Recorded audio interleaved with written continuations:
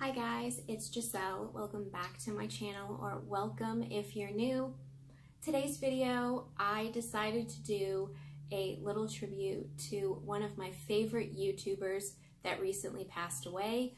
If you are active in the beauty community on YouTube, then I'm sure you've heard of Mel Thompson's passing. I've been thinking about Mel quite often the last week and a half as well as all of her family and friends. I did not know Mel personally. I knew her through YouTube as far as watching her channel. I was a subscriber of hers. Aside from, you know, leaving a comment here and there and her, you know, responding to a comment here and there, I did not know Mel very well. What I do know of Mel is what came through on her YouTube channel. There was something about Mel that honestly, you would just watch one of her videos and you instantly felt a connection. Like this person was genuine, genuinely loved makeup, genuinely was a kind-hearted person, funny, and just there was something about Mel that really just gravitated me towards her channel. I just thought she was the coolest YouTuber. Like everything about her. Everybody knows how amazingly talented Mel was in applying makeup, but just in general, like her look, her style, um, I just really enjoyed watching her videos. In this video, what I wanted to do was a recreation of one of my favorite looks that Mel did. Before I do that, I just want to talk a little bit about Mel, how I came to know her channel, and why it is that I am doing this video for her. I was introduced to Mel's channel probably I want to say three or four years ago. When I tell you that I watch Mel all the time, Mel is one of those creators that she has so many videos. She was on YouTube for many, many years, way before I even came to know who she was. So there is so much content out there from Mel. More times than not, especially during the week, I will literally fall asleep on the couch watching Mel's videos. And it's not because she puts me to sleep. Don't get the wrong idea. It's because, you know, by the end of the day, um, late at night, if I'm on the couch, that's just what happens. I, I get very tired. So I start off watching like one, two, three Mel videos. And then by like the third or fourth one, I I fall asleep. So literally hours go by and Mel's just playing on my TV. Like she's just, she's literally like a household face, you know, like there's people, you know, that saying goes like a household name in my home. Like she's literally like a household face. She's always on, always on my TV screen because I watch tons of YouTube through uh, my Roku app. In today's video, I wanted to recreate one of my favorite looks that Mel has done and it's using one of my favorite palettes. I actually purchased this palette because of Mel's video, Mel's recommendation. So if you watched, um, I did like a one of those YouTubers made me buy it video and I ended up buying the Pat McGrath Divine, the Pat McGrath Mothership Divine Rose 2 palette based off of the video that Mel made. I know I'm not the only one that has gone out and purchased like Pat McGrath palettes and all of these amazing palettes because of Mel's recommendations. She just had a knack for making you want all the good things. I'm going to show you how I recreated the first look that she did in her Divine Rose 2 uh, Mothership video, the first one. So if you want to see how I recreated Mel's look, please go ahead and continue watching.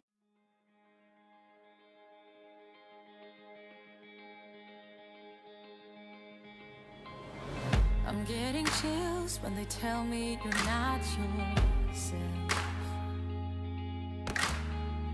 Trying to move, but it's hard. I'm out of breath. Oh, nothing belongs to you in life. Oh, the picture of you cuts like a knife. Whatever they call us, whatever they'll do, they're running in circles,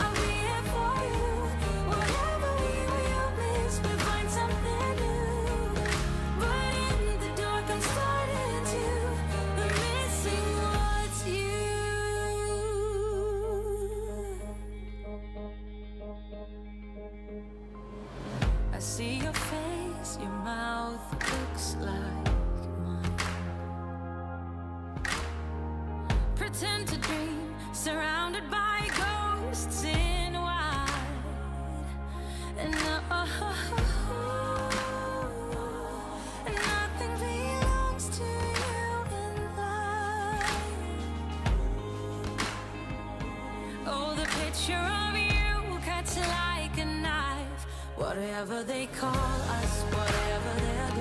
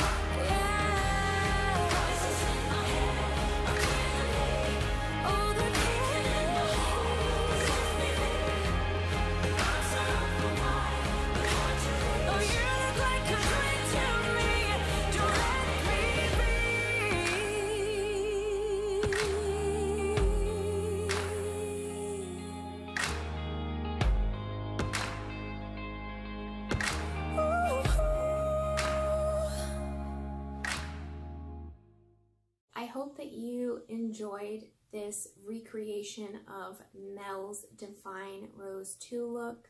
I had a lot to learn from Mel. Now, this eye look is pretty dramatic. It's more dramatic than I would normally wear, but I will say that after recreating this look, I was like, wow, I really like this look. Like, why don't I wear more like dramatic looks? And Mel had such a knack for creating these amazing, intricate eye looks that were most of the time very dramatic looking. So that's one thing that I would love to continue to learn about and get better at. So that is something that Mel's going to continue to teach me. You know, she has all these videos out there. I'm going to continue to watch them. I think the eye look came out pretty decent, you know, not as great as Mel. She was amazing at what she did, but for the most part, I think the eye look came out pretty good. I think she would say, you know, it was a decent job. I didn't show the full face of makeup. What I tried to do was I did use a couple of products that I knew were some of Mel's favorite that I had in my collection. So I'm going to link all of the products that I used for my full face down below in case you'd like to see which products that I used aside from the Pat McGrath palette. I tried to find my most Mel earrings that I could find. Um, and I think I think Mel, I think Mel would have worn these, you know, I think this was her style. If you were like me and you were a Mel subscriber, then you know that we are all so heartbroken. And, you know, for someone who I've never met, I've never spoken to in person, her death really affected me. And it's something that I haven't been able to stop thinking about since I heard about it. And it's just, I, I think part of it is she was so young, you know, I'm a couple of years older than her. You just don't expect to hear about, you know, someone who's so young passing, you know, or you hope to not hear that. It's kind of stayed with me. Like I've been not being able to sleep at night, which is really weird, um, thinking about Mel and her family and just her friends. It's just really stayed with me. And I know that I'm not the only one out there that, you know, didn't know her personally that feels this way. When you meet someone, and when I say you meet someone, but like meet someone virtually on like a platform like this, and it's someone that you watch all the time and that is pretty much like in in your world. Like mel was very much a daily part of my life in terms of i was constantly watching mel videos like every day. And i am so sad that she's not going to be around anymore to create new content and it's like you just think about the potential that was there for Mel. Like she had so much potential. Like she she did so much already that it saddens me to think that there's not there's not going to be anything else, anything new from her. And you know, I really feel that Mel was one of those people that eventually I feel like Mel would have had millions and millions of subscribers. Like she had that potential. Like she had that certain quality about her, I feel, that just made you want to watch her like all the time, which is partly why I was always watching her. And I don't know, I just, I didn't want this time to go by without making a video, a tribute to Mel. And I know that certain people, there are certain people out there that won't understand. Like don't understand how is it that you can feel sadness about somebody you've never met or you know feel or think about like this person's death. You just can't mel had that quality that when you watched her videos you really truly felt like you were at her house you guys were friends and she was just sitting there talking to you about like her new makeup palette like she just had this quality about her that felt very inviting, very welcoming, and welcoming to all. Like, I just feel like she was that person that, regardless of who you were, all walks of life, she was gonna be friendly to you and treat you with kindness and respect.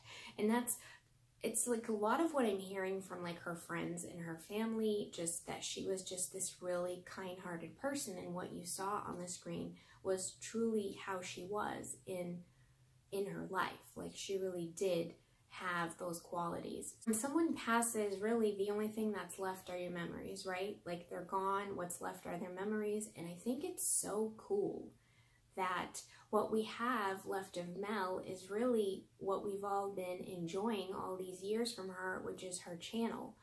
And like I said, she's been doing YouTube for so many years and she has a ton of videos. Now, one way to help and support her family is to continue watching her videos and making her channel active. And the great thing about that is it's free. It's absolutely free for you. So if you love makeup or if you don't even know much about makeup but you'd like to get into it and learn a couple of things, she is an amazing, talented makeup artist. I would definitely check out her channel. I'm going to link her channel down below. By watching her videos, by liking them and commenting, you're you're keeping her account active and in turn that is helping her family. She was 35 years old. Mel left behind a husband and four children. So if you would like to support Mel in that way, that would be amazing. And like I said, it doesn't cost you anything, but a little bit of time. So check out a couple of her videos here and there. I promise you won't be disappointed.